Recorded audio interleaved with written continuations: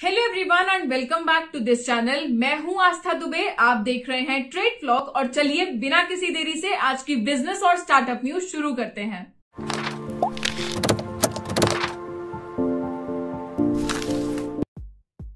पीयूष बंसल को आप में से काफ़ी लोग अब जान गए होंगे। जो नहीं जानते, उनके लिए मैं बता दूँ, ये लेंसकार्ट के को फाउंडर हैं और हाल ही मैंने देखा गया था शार्क टैंक पर। ये वन ऑफ़ द शार्क्स थे।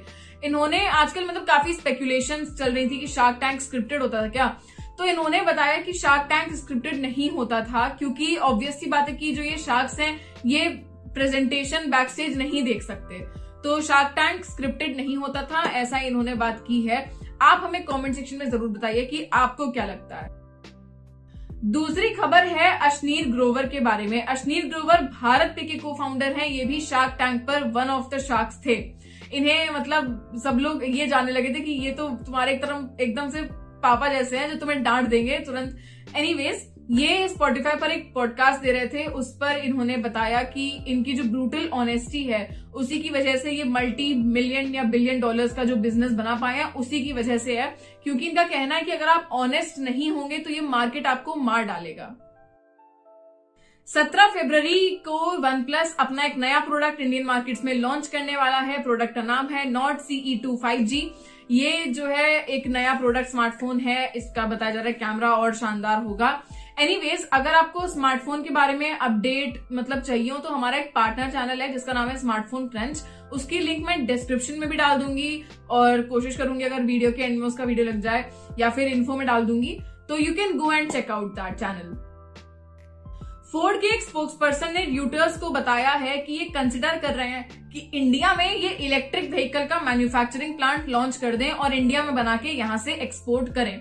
आपको बता दें कि सितंबर 2021 में फोर्ड ने अनाउंस किया था कि वो इंडिया में जितनी उनकी लोकल मैन्युफैक्चरिंग यूनिट्स थी, उन सबको सीज करने वाले हैं, क्योंकि 10 साल में रिपोर्टेडली उन्हें 2 बिलियन डॉलर्स का नुकसान हुआ था। लेकिन now I guess they are coming back to India Covid के चलते आईआरसीटीसी ने अपनी जितनी भी उनकी ट्रेन थी, उसमें खाना देना बंद कर दिया था। जनवरी 2022 से 80 परसेंट ऑफ़ ट्रेन में इन्होंने शुरू कर दिया था कुकड मील दोबारा देना। और अब आईआरसीटीसी ने अपना स्टेटमेंट दिया। उन्होंने कहा है 14 फरवरी से, यानी कि लिटरली कल से, हर ट्रेन में इनके कुकड मील्स दोबारा मिलने लगेंगे।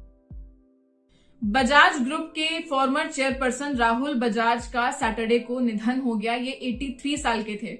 डॉक्टर्स ने बताया कि इनका कार्डियाक का ट्रीटमेंट चल रहा था, लंग रिलेटेड इश्यूज़ भी थी इन्हें जो बजाज ग्रुप ने स्टेटमेंट जारी किया इनके डिमाइस इनके डिमाइस के बाद, उसमें उन्होंने बताया कि जब इन्होंने अपनी आखिरी सांस ली, ये क्लोजेस्ट फैमिली के बीच में थे।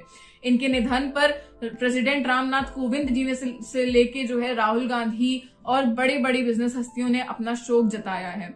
We at trade flog also express our sorrow and may his soul rest in peace and power Uber के सीईओ ने कहा है कि नियर फ्यूचर में ये क्रिप्टो करेंसी को एज अ पेमेंट लेना शुरू कर देंगे। इन्होंने कहा है कि जो भी ट्रांजैक्शन सर्विसेज़ हैं, वो जब थोड़ी और इजी हो जाएँगी और ये थोड़ा और एनवायरमेंटल फ्रेंडली हो जाएगा, तब ये सब शुरू हो जाएगा। अभी तो उन्होंने कहा राइट टाइम नहीं है।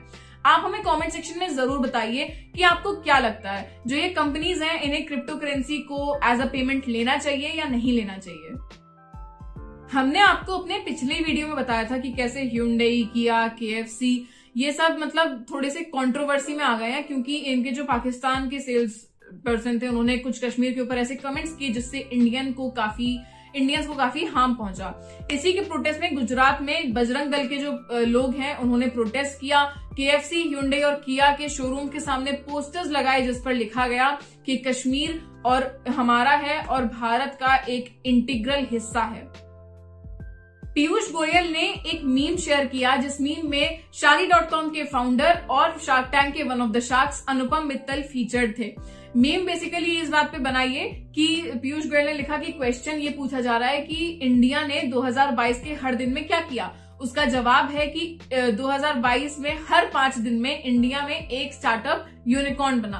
पीयूष गोयल ने बेसिकली बताने की कोशिश की कि कैसे 2022 में, अभी मतलब दो महीने भी नहीं हुए पूरे और 40 यूनिकॉर्न्स आ गए हैं इंडिया से।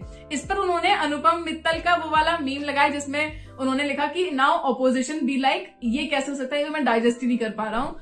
आप हमें कमेंट सेक्शन में ज़रूर बताएगा कि क्या आपको ये मीम फनी लगा? आप क्या सोचते हैं इस बारे में? एनीवेज um, अनुपम मित्तल ने भी इस पर रिप्लाई किया। तो बस दोस्तों आज के इतना ही। हम मिलेंगे आपसे अपनी अगली वीडियोस में। तब तक make sure you like comment and share this video and subscribe to our channel trade flog